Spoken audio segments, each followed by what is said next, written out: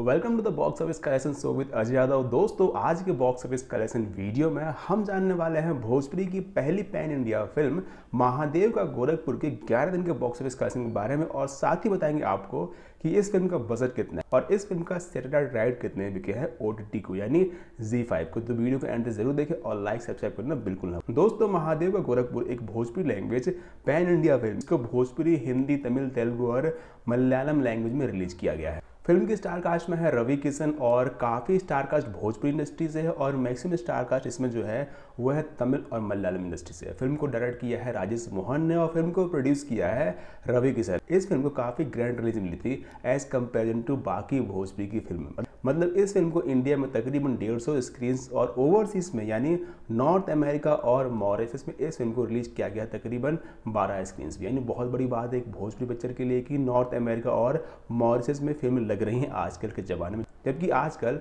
Bhojpuri film कोई देखता भी नहीं दोस्तों, बात करते पहले फ़िल्म के कलेक्शन के बारे में।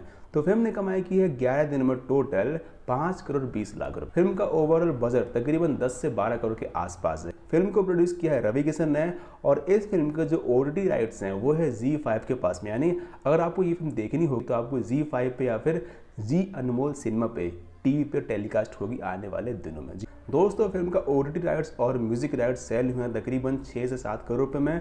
यानी फ़िल्म का जो ओवरऑल कलेक्शन है, यानी थिएटिकल के साथ साथ ओ और म्यूज़िक राइट तीनों कलेक्शन मिला के फ़िल्म काफ़ी अच्छा कलेक्शन कर चुकी है बॉक्स ऑफ़िस पे। तो ये फ़िल्म सुपर हिट लिस्ट में आ जाएगी।